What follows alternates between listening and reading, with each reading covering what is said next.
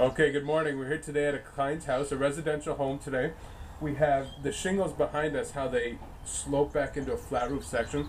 So I'll show you what it looks like. Hope you, hopefully you learned something today. Hopefully you take some good points and tips, and I'll show you what the flat roof looks like. Thanks. Okay, so we've come up to the roof. You can uh, just take a look at how the roof looks.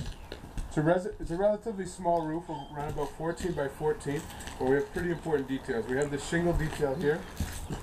This is right now where the, most of the problem is. Inside, they have a wall cavity, and that side of the roof, or that side interior space is a garage, and this side is interior living space. And the uh, in, inside they're getting water throughout. So we're going to make sure our new waterproofing membrane properly goes up the shingles.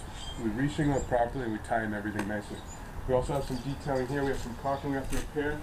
We take this metal flashing off and probably bring a and properly bring a waterproofing membrane up and over and reflash that. So there you go. Show you what it looks like later on. I uh, hope you learned something and thanks for staying. Ciao. Okay, welcome back. We're about a good two hours into the project. We've managed to fasten down the new Sopraboard, which is going to act like a basically a slip sheet between the old roof and the new roof. It allows the owner not to have to tear everything up and also the issue of maybe plywood and other wood coming up. So leaves the substrate in place. We put a new uh, eighth inch layer of Sopraboard. It's an asphaltic board and we go from there. Okay, so I'll show you where we're at. We've removed the shingles. Um, you can see the old felt and the shingles are there. We've had to remove the old felt from the board so our new membrane is going to adhere well to the to the old wood plank. So you can see the old detailing. They've only come up this far, which is which is an issue. It should be a lot higher. This is one of the reasons why the roof was leaking. So we're going to bring our new membrane up to about here and re-shingle that whole area. So we found some issues here. You can't see we've covered them up um, with the new board, but there were some holes in the membrane areas where water could penetrate underneath the flashing and cause damage inside. Another area here you can see,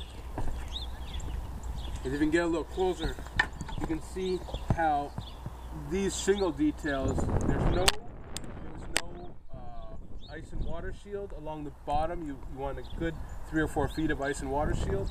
And also there was just nothing covering, it was just simply shingles lapped over like this with open exposed wood on side. So we're going to clean that up for the homeowner and I'll show you what it looks like later. Hope you like it. And we'll bring you back when we get some base sheet down. Okay, thanks.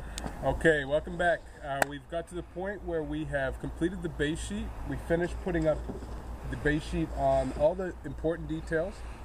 And we've also carried the base sheet up the shingle area. So what we've done, we've carried the base sheet up to here, and because we're going to add more shingles, we're going to add an ice and water shield and bring that just up to where you can see where we need it. So we're watertight in that area. This area, remember how it was just basically the back felt was coming. We brought our base sheet up behind this metal siding, and now we can roof that in. We've also closed this area nicely. This, you can remember, you could put your hand in there. It was all open and exposed. We're also going to add a bit more ice and water shield where we're going to add some shingles, so we'll close that. We gave him a new drip flashing. His eaves trough was in good condition.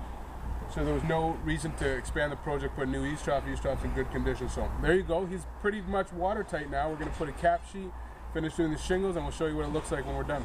Okay, welcome back. I just wanted to show you quickly how we bring the ice and water shield up. Drop the felt paper down, bring the cap sheet up. Just show, I'll show you the detail now. Okay, so remember we brought the base sheet up. Base sheet's up to here. Um, we brought the cap sheet up, and now we have our ice and water shield running from down there up. So this is a good shedding detail. We got the felt, the existing felt paper shedding over. So this is 100% watertight. All we're going to do now is shingle it. So there we go. That's how we bring the base or the roofing membrane up under the shingles and do it over. I'll show you this detail here. We removed the metal siding.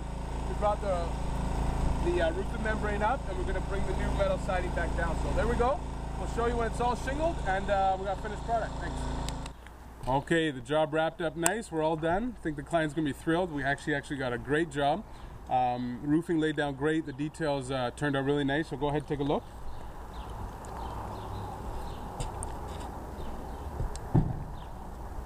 Overall, basically, this was the important detail, was how we tied that in. You saw it earlier in the video. I think it turned out wonderful. We had to add some extra drip flashing here the detail behind here with the old uh, wood siding is a bit suspect the way it was done before, so we fixed that up nicely for the con for the client. added some new uh, drip flashing. There was some suspect uh, details that we caulked that up nicely. So this is also here. You remember how this was all basically exposed from under the shingles down. So if you can see, I'm not gonna lift it up because it's still a bit warm. So it's all nicely weather tight. It's all watertight in. We got basin cap in and flashed in nice. So there you go. Legacy Flat Roofing Sheet Metal. If you're in the Southwestern Ontario area, give us a call. We'd love to hear from you. You can email us at info at legacyroofs.com or see us online at legacyroofs.com. Thank you very much.